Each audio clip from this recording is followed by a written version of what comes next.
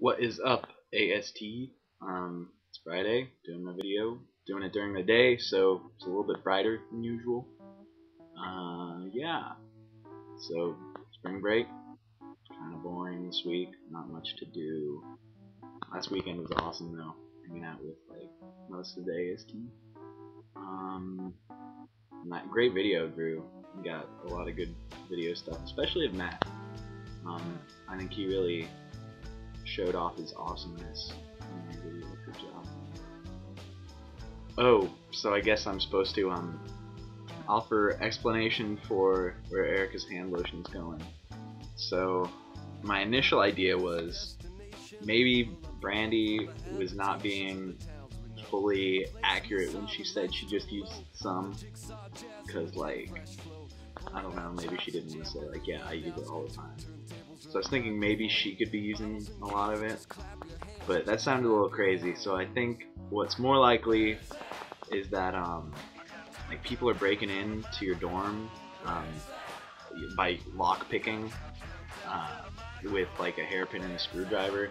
And so they get in and then um, they steal your hand lotion. And then they leave. And before they leave they lock your room um, so that you don't know that they were there. So that's why it seems like it's disappearing. Or if that one isn't true I also think it could just be aliens um, you know aliens need hand lotion too so they're coming in disinfecting themselves the earth germs I don't know if you've if you've seen uh, War of the World, but that's how aliens die, is disease. So I think that's probably it. Probably trying to prevent human diseases from killing them. So I think that's probably it. I think that's. Oh yeah, so um, for Erica's other challenge, uh, we're supposed to talk about what we do in our free time. Um, I'm not going to talk about what I do at home, because that's boring. Um, I'll talk about what I do at school though. I'd say most of my time is probably spent studying.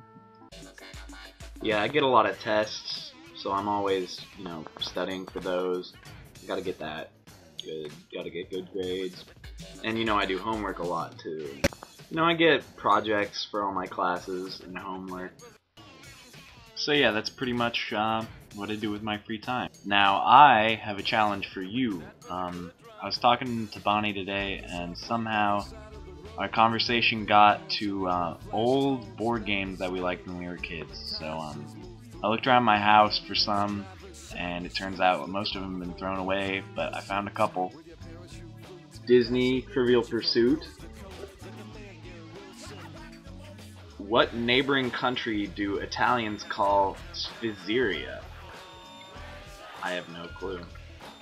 Apparently Switzerland. Seems obvious now.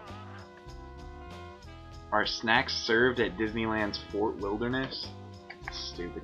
yes, they are. For your information. And I have Travel Connect 4. I love that they make a travel game with tiny pieces. But the best part is always pulling this off. Oh, there went the pieces. Awesome. All over the inside of the car that we were traveling in. So yeah, that's my challenge. Um, if you got them in your dorm, which you might not, um, show me them, or just talk about games that you like to play. One of my favorites was Kerplunk, but apparently we don't have it anymore. That's the one with like the marbles. You pull out the sticks, but if you pull out too many, the marbles fall. Yeah, I'm a dork. Um, so have a great week, and um, I'll see you guys later.